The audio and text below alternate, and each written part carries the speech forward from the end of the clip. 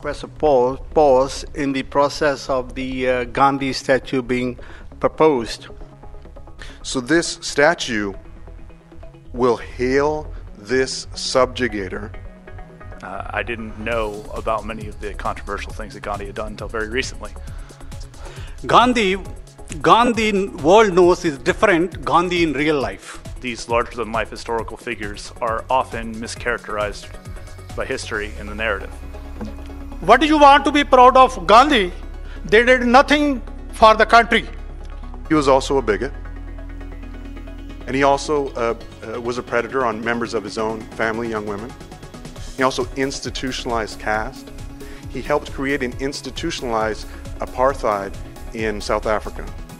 Read the Gandhi in his own words, Gandhi's own writings. Gandhi was a racist while living in South Africa. Gandhi wrote in 1903, we believe also that the white race in South Africa should be predominating race. Quote that I want to quote Gandhi on here is that uh, Kafirs are quote Kafirs are uh, as a rule uncivilized, the confl- uh, convicts even more so. They are troublesome, very dirty, and live almost like animals. That's no way to describe a human being. To me, that's not peaceful. So Gandhi believed in Aryan, Aryan brotherhood. This involved white and Indians higher upper than Africans on civilized scale. And also, uh, Gandhi served as a sergeant major in the British wars against black Africans. To me, that's not very peaceful.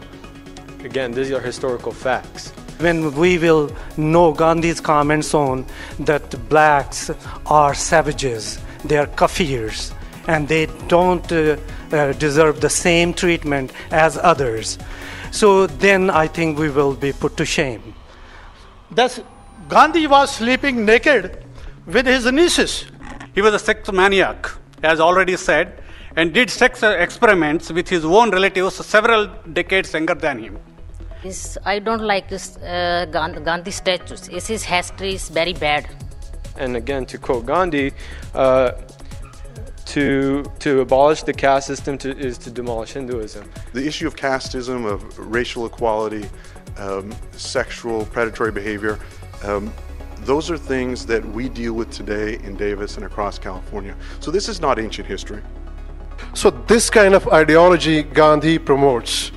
Do we want the sexist, bigot, racist statue in the city of Davis? No.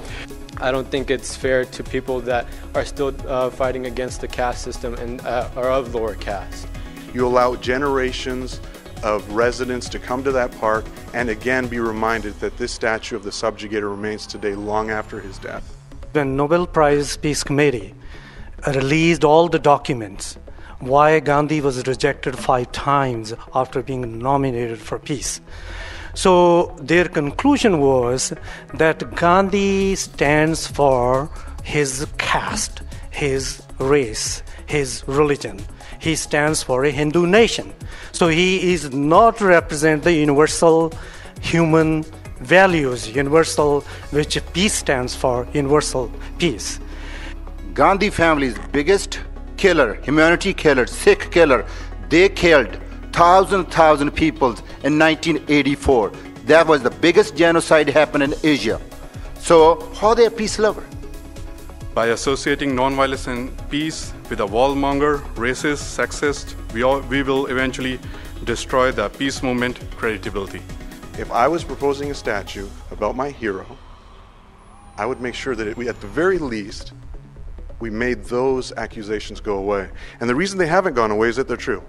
So I think his uh, statue in the public square would be a direct contradiction of American values. Gandhi is not art. It represents closing eyes to racism, violence, hatred, closing your eyes to truth.